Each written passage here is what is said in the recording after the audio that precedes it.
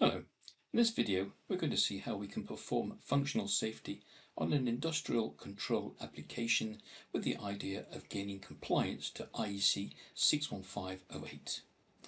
Now connected to my laptop at the moment I have this particular evaluation board. It's a Texas Instruments Launchpad and it has a Cortex M0 Plus. Now, the starting point is I'm going to invoke the IDE, Code Composer Studio, and I'm going to invoke it from within LDRA. And LDRA is then going to listen to everything that we do inside the Code Composer Studio IDE, and that way it's going to understand about the project. So there we can see it's detected the board that's connected to my laptop. Let's take a look at the source code. So there we have the project. Well, let's start by doing a rebuild. It's important to do a rebuild because LDRA is going to listen to everything that's happening. And we're then going to pass this. We can see for instance here we're using the TI ARM Clang compiler. Here we have the, the main and I've actually set a breakpoint here on thermistor run example and let's go and debug this. So that's now going to connect to my target. So there we go let's start connecting. And then it's going to download the program and there we can see we're now executing so let's just let this run. Okay, and now if I press the button on my target, I should eventually get into this thermistor mode. There we can see we've now hit that. Okay, so I'm now going to go and close down the IDE and LDRA has now passed exactly what's happened and there we can see we've built this executable here. We've got all these source files. We can see we have uh, include paths and also preprocessor symbols. So I could now go and open this with TBvision. Now to save time, I've already done that. So let's open up TBvision. And this is the LDRA productivity package for industrial controls. And there we can see we've already analyzed that code. And so what I'd now like to do is, well, first of all, we need to check compliance to a coding standard. So lots of coding standards that I could select. So this is just a, a sample of some of them and it's this MISRA C 2023 that I'm interested in. I've got that set up. Let's go and do, let's start with a summary report and we can see we've got lots of violations. Well, the code wasn't written to be compliant and so of course we have lots of, of violations. Let's take a look at some of these, what we've got that might be interesting. Um, what about, um, so here's an interesting one, unused procedure parameter. Well, let's do a code review for that one violation. And if we scroll down, we can see four places where we've not used this parameter reader. Well, let's take a, a closer look. And there we can see, yes, we have this callback function that takes reader and it looks like it's not used. So that's very easy to fix. I could simply put a, a void cast in here for that parameter and that then violation would, would go away. What about uh, taking a look at something else? Let's take a look at maybe the, the main. So let me go and take a look at main. Let's do a code review on that. And there we can see a number of violations. Interestingly, this one has been grayed out. Why is that?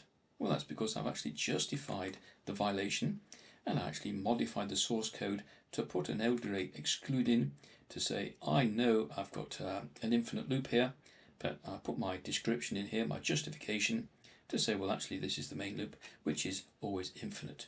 So that's one way of justifying violations. Another way is we could decide, uh, let's take a look at uh, this one here, included file not protected with hash define. Well, if I wanted, I could simply go and exclude that.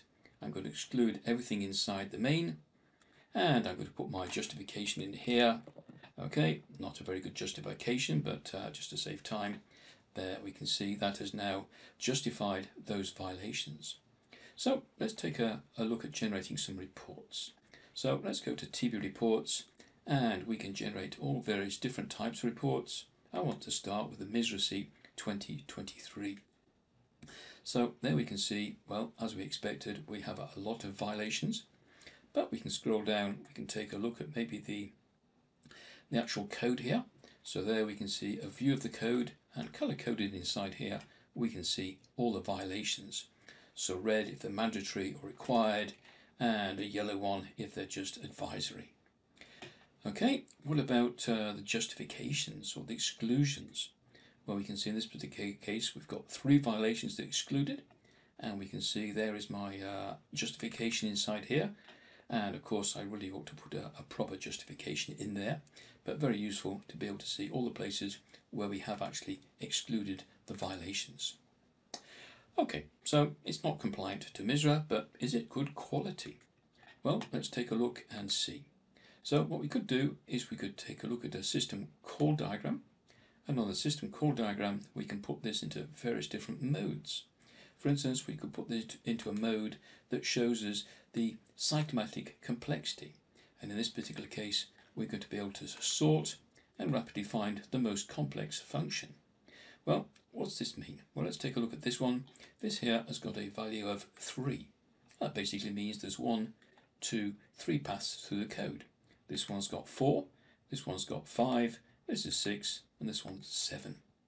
So there we have got a graphical representation of the code and over here we can see this is a block of continuous statements followed by a branch to another block of continuous statements.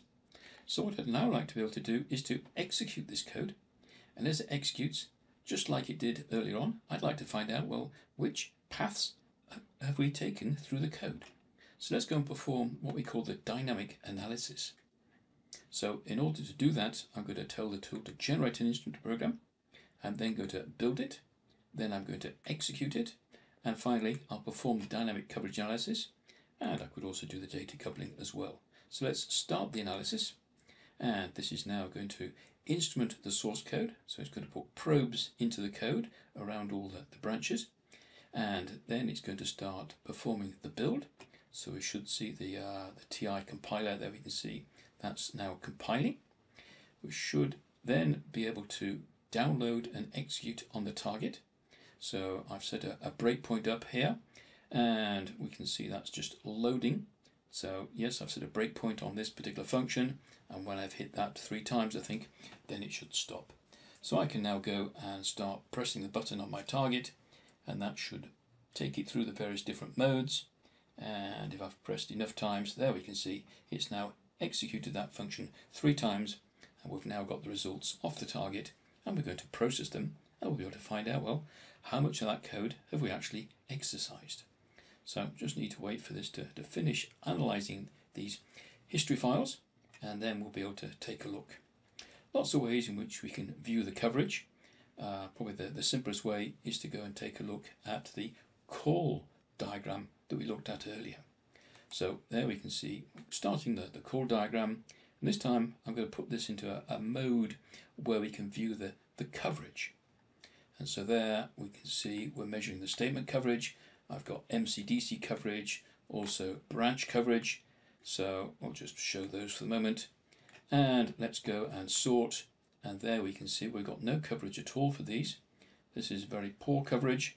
But uh, let's take a look at this one and let's view a flow diagram and there we can see very clearly exactly the path we've taken through the code.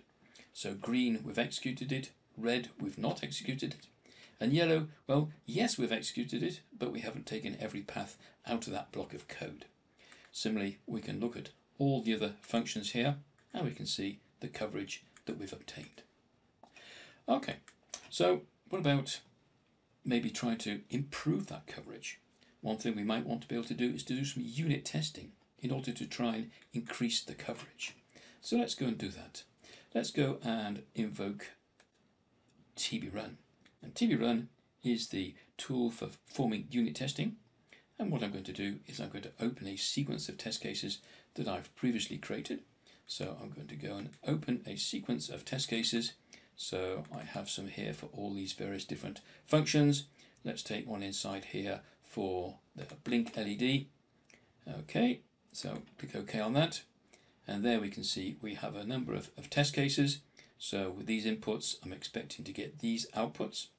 And also what we can see here is that I've only taken a single file. And so some of the functions are missing. And so automatically we've stubbed them. And when we stub a function, we can go through and get it to return different values we can get it to ensure that it's actually executed a certain number of times. So I've set all that up.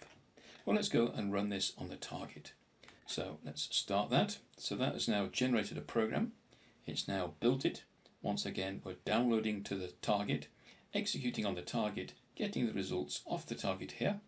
And then we're going to process that and hopefully we'll find that all the tests have passed. So with these inputs, we got the expected outputs that we're showing here.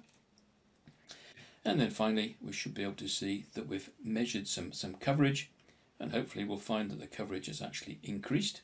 So this is what we got from the dynamic analysis, 88% statement coverage, 71% branch coverage, and there we can see that's just increased, and there we can see the coverage we obtained from this particular run.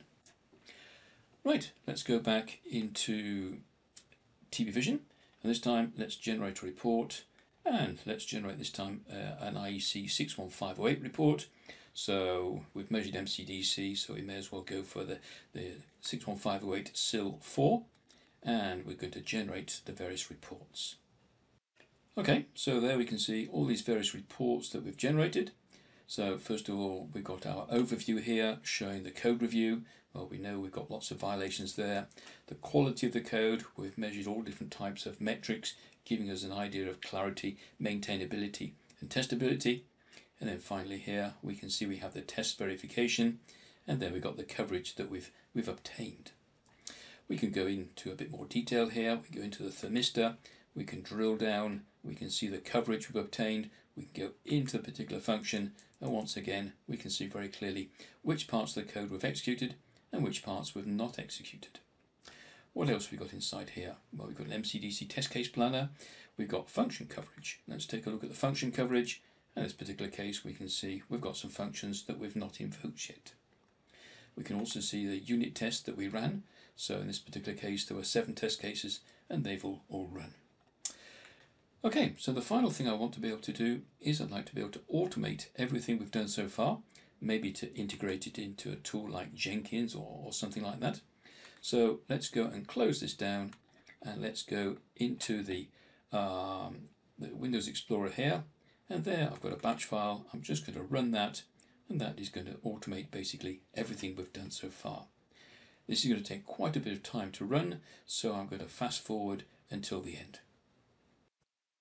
It's just run the first six test case files. It's about to run the, the last one. So there we can see it's connecting to the target Again, we're downloading to the target, we're running, we're going to get the results back, and hopefully we should be able to find that this test case file also passes.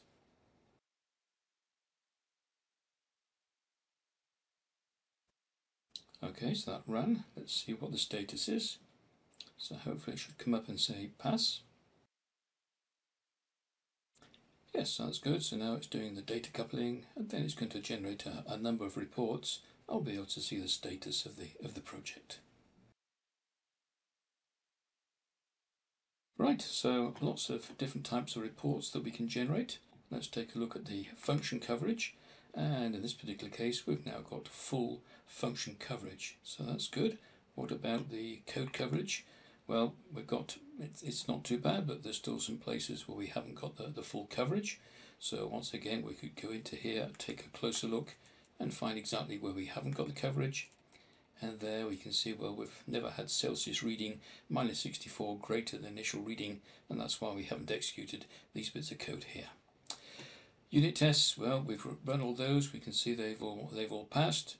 And we've also got some additional reports like control coupling, data coupling, and also reports showing us uh, security, such as uh, do we have any vulnerabilities? And, well, got a few uh, violations here, so that's not too serious. What about taint analysis? Well, the good news is we don't have any taint sources or taint sinks inside the, the, the code here. And if you'd like more information, then please don't hesitate to get in touch with, with LDRA. Thank you.